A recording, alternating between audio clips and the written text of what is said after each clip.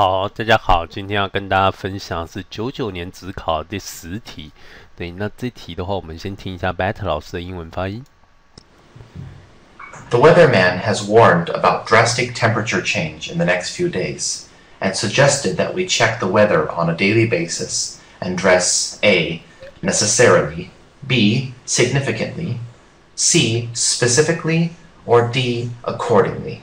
好，那这题的话，我们看到这个主词是 weatherman，对，那 weatherman 其实就是我们说的气象播报员，对，那他怎样 has warned about drastic temperature change in the next few days，对不对，那 warn 这个是说啊。提出警告，或者说提出提醒，就是说大家要注意。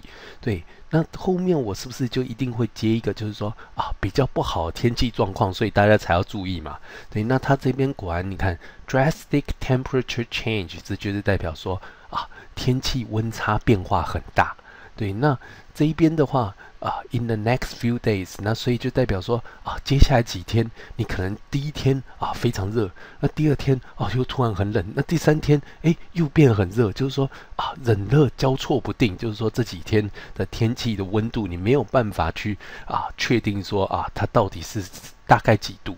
那如果碰到这种情况的话，它怎样？他说，suggest that we check the weather on a daily basis。所以你这样子，你每天都要怎样，都要确定一下这个天气怎样。对，那如果说啊，他播报说啊，下礼拜全部都是晴天啊，温度都差不多，那所以你是不是只要怎样，就是大概知道就好，你就不用去 check。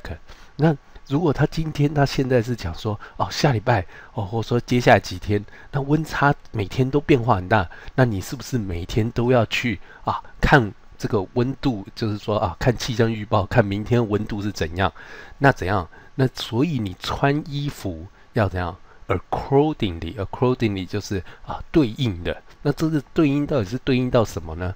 就是这个天气。那如果热的话，那你就穿短袖出去；那如果说要下雨的话，那你就要带雨伞；那如果冷的话，那你就要多加个外套。OK，好，那这样子整题是不是就很有逻辑了呢？